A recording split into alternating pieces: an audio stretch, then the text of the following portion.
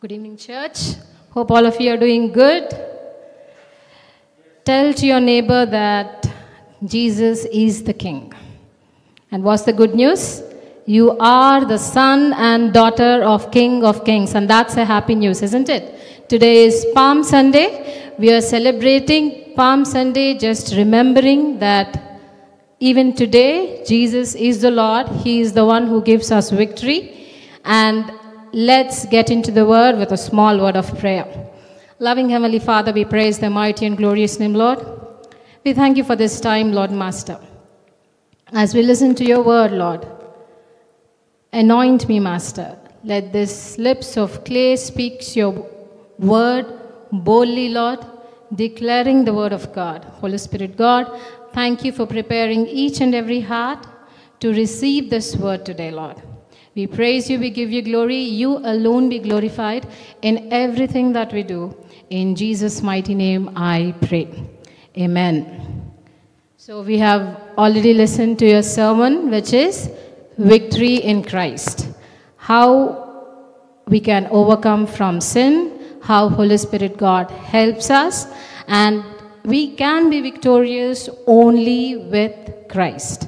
So it's going to be a little extension of the sermon that dear sister has taken.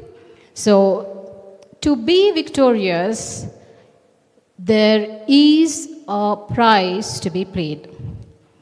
You might be saying, Jesus has already paid the price. So do I have to pay any price? Yes, there is a price for us to pay to see that victory in our life. So, as Palm Sunday, we know that those days in Jerusalem, Jesus was just not recognized as carpenter, rabbi. He was recognized as a king that day. And after a week, during that week, we know that Jesus was preparing for the purpose that he was sent to this world that is, the crucifixion and also the resurrection. Little did they know that the day they were shouting that day, Hosanna, Hosanna, they were thinking in a worldly sense uh, that he is the one that is going to save them from the Roman Empire. That's why they were calling him save. Uh, the Hosanna word is actually save now uh, if you see in Psalms 118, you will see that save now and give us the prosperity now. Because a priest can give you a word of encouragement, but a king can give you some inheritance. How many of you believe that? So they were saying, save now and give us uh, that prosperity, that thing that we have been waiting for. Little did they know that he didn't just come to save the people in Jerusalem, but he came to save the entire mankind from the sins, from the penalty of our sins, which is death. So they were rejoicing, calling him Hosanna, and this also brings the fulfillment of the prophecy that we see in Zechariah 9 9, uh, where, where we see that very lowly uh, Jesus was riding on the donkey and was being greatly rejoiced in Jerusalem. So during this week, Jesus is preparing for the ultimate sacrifice, the ultimate fulfillment that is to deliver us, not only deliver us, but give us that victorious life that we have been waiting for. The purpose of God had to be fulfilled this is that week of fulfillment. So, if for the victory that we have received from God, for us to experience that victory in Christ, which is through Christ, even if you see the, the, the victory that Christ has gained on that cross was not easy. That's why we see in, uh, while he was preparing also, there's a lot of agony but he surrendered himself to that will of God. Galatians 1 4, turn with me, where it says, Who gave himself for our sins to rescue us from the present evil age according to the will of our God and Father. The word here says is, who gave himself. So, for whom did he give himself? For our sins. It was not for his sins because he had no sin in him.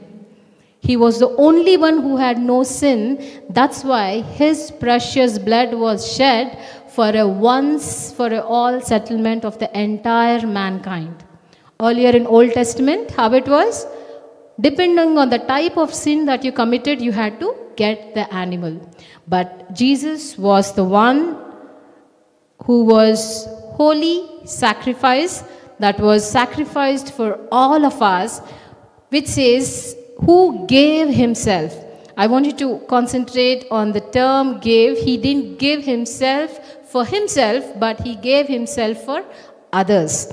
And what was it? According to the will of the Father, the God. So, why is it so important for us to know about this? Is when Jesus gave himself, he wants us to be his imitators, right? He wants us to be his imitators when we are living in this world. In Matthew 16 24, we see that whoever wants to be my disciple they must deny themselves and take up their cross and follow me.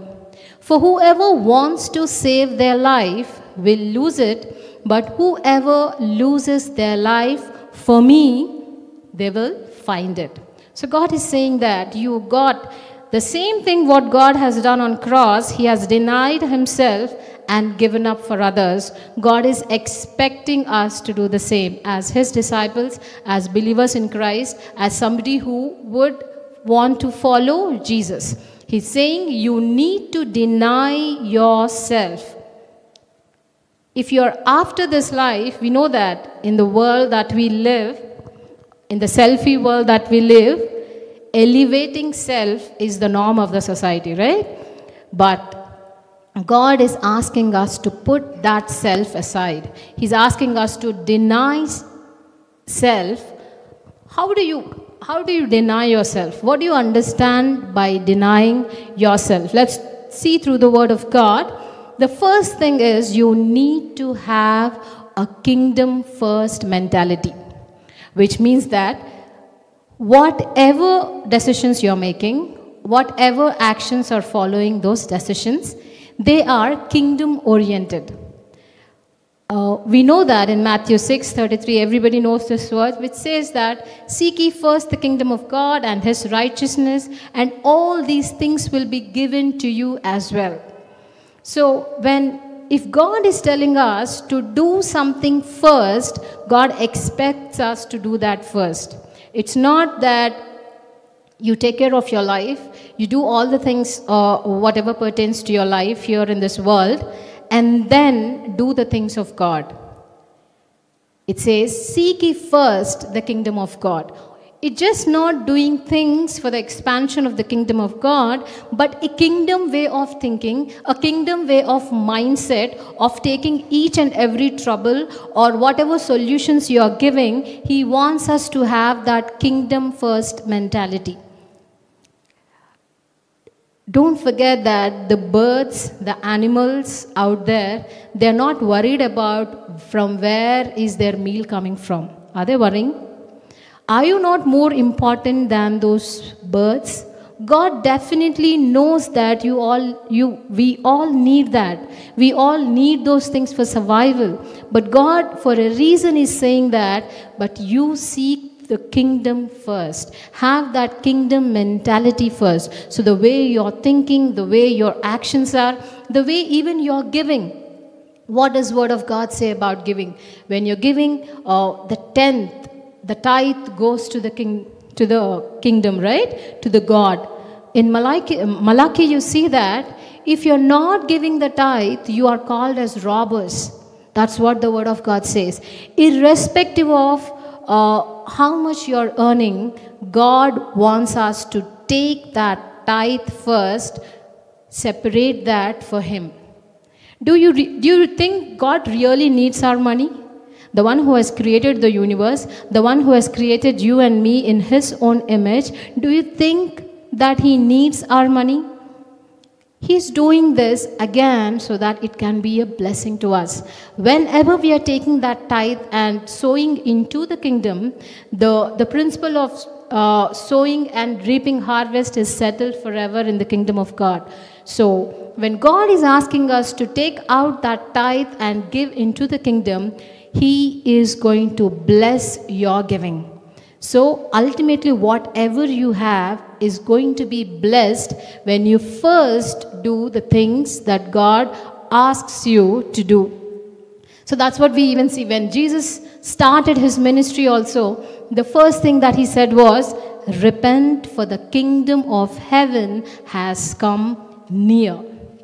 So we have seen how we need to have this kingdom first mentality then getting to the second one, which is obedience in all times.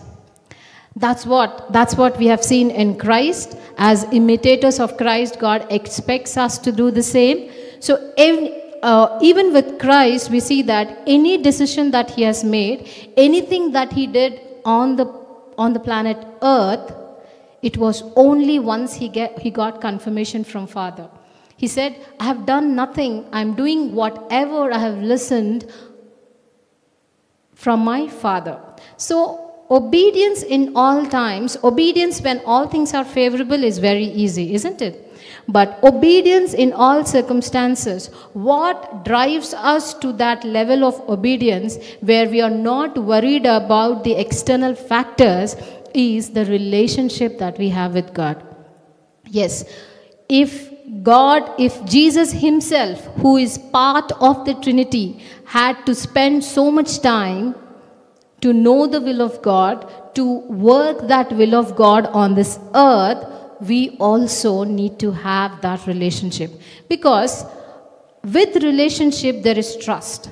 With trust, there is that obedience to do what they have said if somebody, a stranger comes and tells you something, will you be able to, willing to do what he says?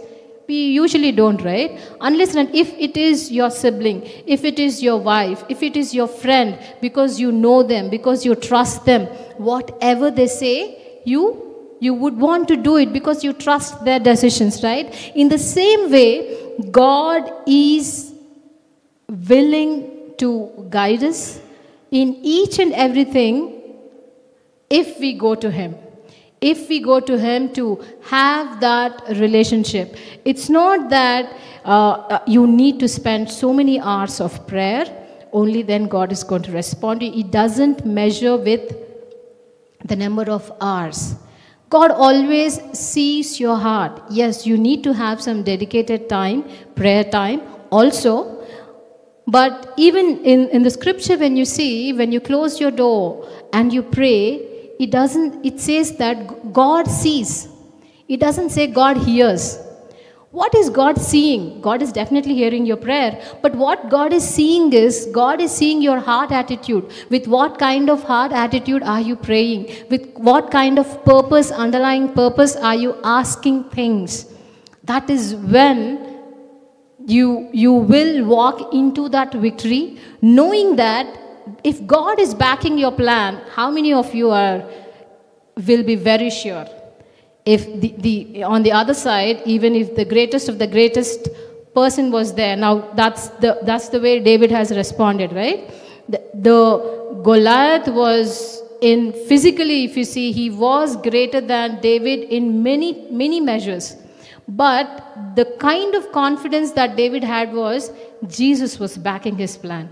God, the Father, was backing his plan. That's why he was so very bold that he took even just not one stone, he picked up four or five stones. Uh, some of the preachers say that he picked up those stones thinking that if Goliath, when he would strike Goliath, if his brothers would come, he has stones for them as well. So that is the confidence that you can walk in when you have that kind of a relationship with him it is in this world when you see we are running after life we are we are running after settlement in different areas but if if God has given you a vision of something, don't you think so? God will even give you the provision for it? Yes, when you when your plans are backed up with god He will definitely provide up for it. Remember, friends, it's not the uh, external factors that will decide your promotion. Promotion either comes from east or west, but from above. That's what the Word of God says. And every good thing comes from above. So, whenever you're going through something, remember that God is in control. God, your Father, God has called you your friend. God has called you as joint heirs in this kingdom of heaven that is going to give us as inheritance. So, the knowing that you have about yourself will help you to deny yourself and put the things of God first and to be obedient to every instruction that is coming from Him. If you see, sheep they just hear the voice of the shepherd. According to the voice of the shepherd, they just move places because that is the confidence. They know the voice of the shepherd, which means that they, may, they might be many people having their herds, but if the concerned shepherd just gives that shout, the sheep know it, which means that they have spent enough time with the shepherd, they know the master's voice and they are obedient to it because they know that he always has a plan of protection. He always has his green pastures. He always leads them to the through the green pastures. That is the confidence that sheep have. So in the same way if, if you see uh, uh, jesus in gethsemane especially it was very difficult for him to make that decision. He was saying, Lord, if possible, if you can pass that cup, he says that. And then again, what he says? Not my will, but yours be done. So every time, every time, as sister was sharing it, prayer is so very important because it helps you to align with the will of God. He was praying and he was asking the uh, disciples to pray so that they can strengthen him because that is not a easy decision. Remember my. Uh, my dear ones, that it is not always easy to take that call. It is not always easy to take that call of denying yourself. It is not easy to take that call of obedience when all the world is going in a very broad way. Maybe you need to take a narrow pathway. But God expects you to do that because that is the call of fulfillment of the purpose that He has in your lives. That is the call of obedience that God has for you. That is the one which will mark you as His follower. That is the cost that needs for you to be victorious in Christ. Yes, victorious in Christ, victorious through Christ. Remember, you can be victorious only with Him. Never go by your own plans. Take time, take time if you have to, just separate yourself to know what is the will of God.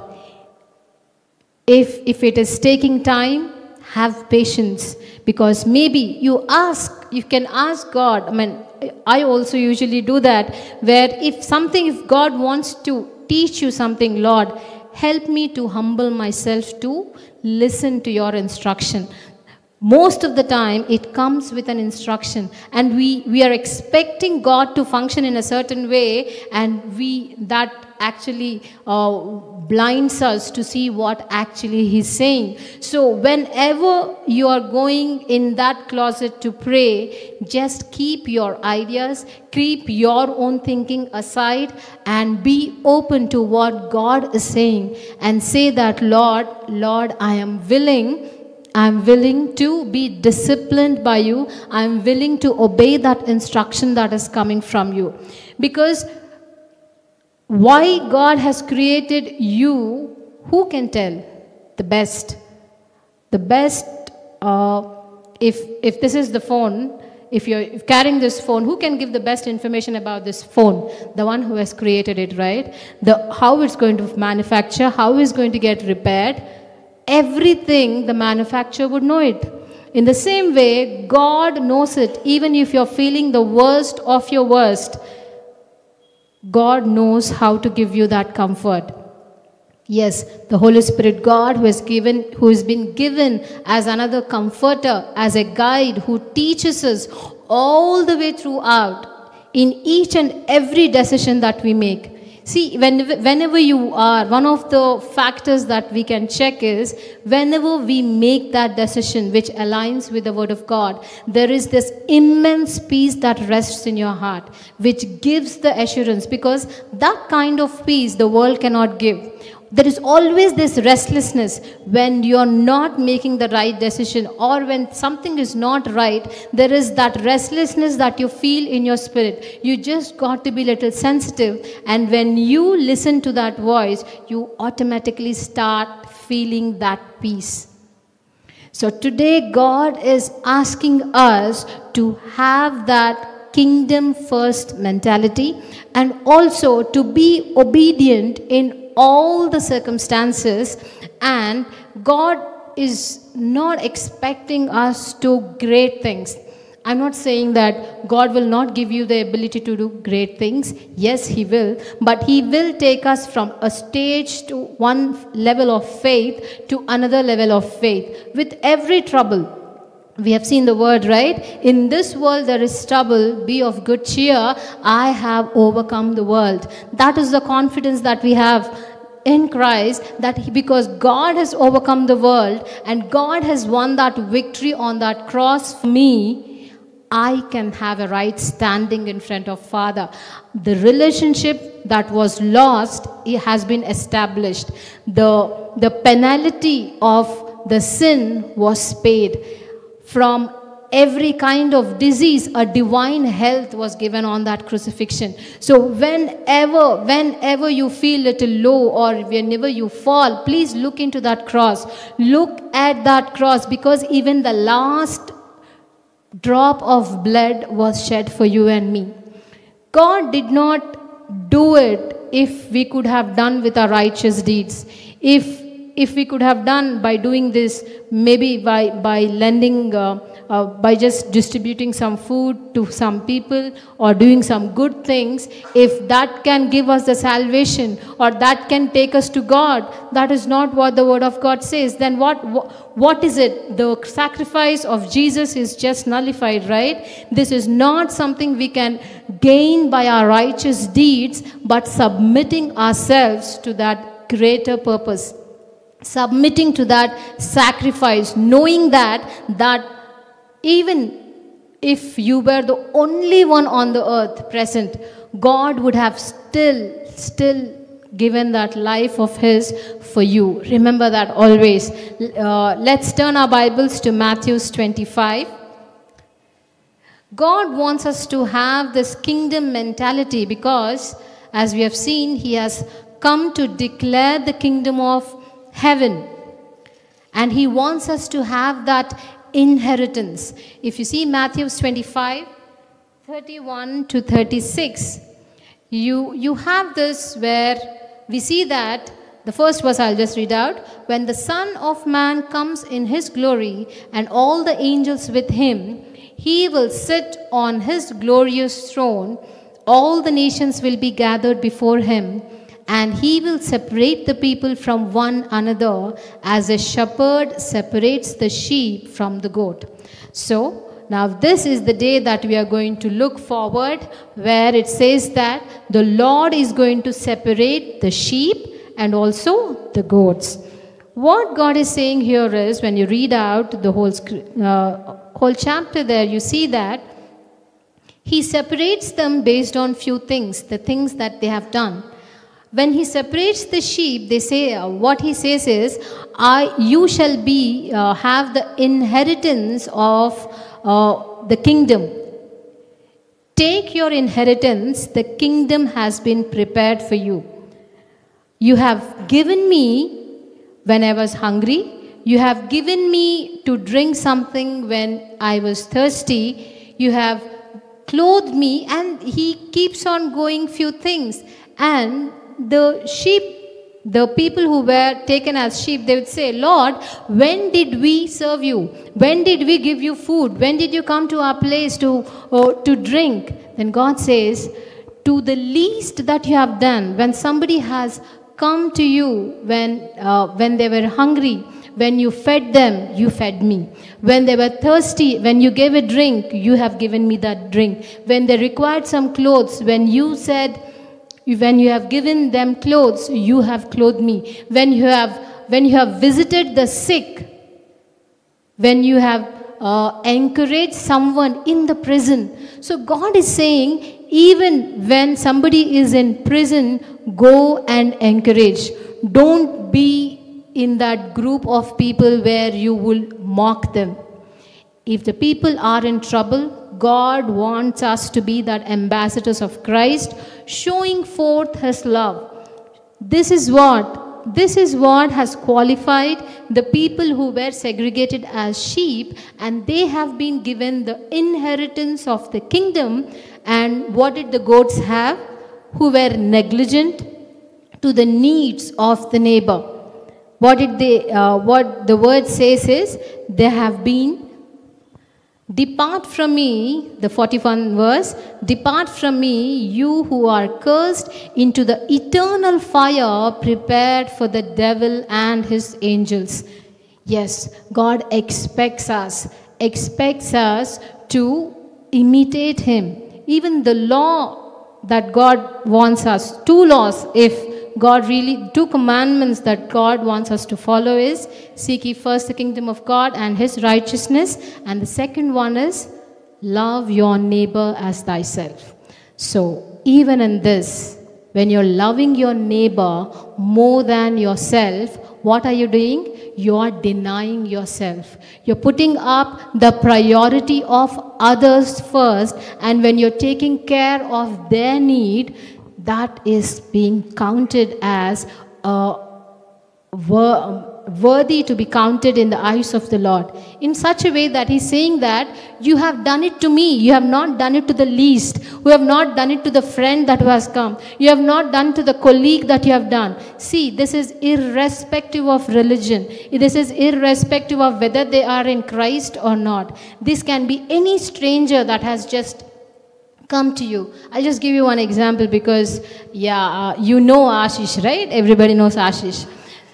We were traveling uh, in Nellore and Ashish was driving. Me and Mercy were behind, sitting there, and we were going to record a song. And we were already late and we were actually trying to find our way. And there was this uh, stranger who just stopped by when, when we were trying to find the way he said he was talking he was just sharing his story the bottom line is he was hungry and uh, he wanted some food so i was just seeing what ashish would do he was he was said he, said, he just said, just give me five minutes. He parked the car over there. He went and he got the meal for that stranger. And then we went back to that journey. This is what, the reason why I gave that example is this is somebody, a small act of kindness, a small act of compassion that you show is counted, that we have seen. I'm not saying this because I like Ashish. I'm saying this because the word of God says it. That will cause an inheritance in the kingdom of God. As children of God, God wants us to be his imitators. Imitators not when everything is convenient, imitators even even when things go wrong, even when you fail, when, even when you are in a pit when nobody even cares for you, remember that God can comfort you even in that pit. A word can come to you even in that pit. I remember a friend who was thinking of committing suicide. She, she was not from a Christian background, but she believes in Christ. But through the different trials, she was thinking to commit suicide. But uh, that day somebody has got some snacks and there was a word on that cover which was wrapped and that word was for her. So remember that god can make sure that word to reach you wherever you are wherever you are in whichever pit you are if you cry out god is there to save. On that day the people of Jerusalem cried out for a king. Yes, He is the King of Kings. He is the one who has saved just not the people of Jerusalem, but the entire mankind. He has shown the love like nobody. If we want to thank Him for what He has done on that cross, every minute of our lives will not be sufficient every minute of our lives is not sufficient but god says that when we do something like this when we deny ourselves when we when we are obedient in the things of god when we put the kingdom first we shall inherit the kingdom of heaven. And that is the call that we need to respond that is the call of self denial that we need to respond today. That is the call of obedience that we need to respond today. That is the call of divine purpose that we have to respond today. Let's bow down and pray. Loving Heavenly Father, I praise the mighty and glorious name, Lord. I thank you for this time that you have spoken to us, Lord Master. Help us to be imitators of Christ. Help us to be the ambassadors of Christ on this Palm Sunday, Lord, as we remember you as the King of Kings and Lord of Lords, Master. Thank you. Thank you for paving the way for us, Lord Master, as a deliverer, as a savior. Lord, thank you. Thank you for your precious life that was shed for us, for each and every drop of blood, Lord Master. Help us to be the ambassadors of Christ wherever we go, in whichever field we are, in the small worlds of ours, Lord Master, to minister that comfort, to minister your love, Master, denying ourselves. In everything that we do, help us to glorify you. In Jesus' mighty name we pray. Amen.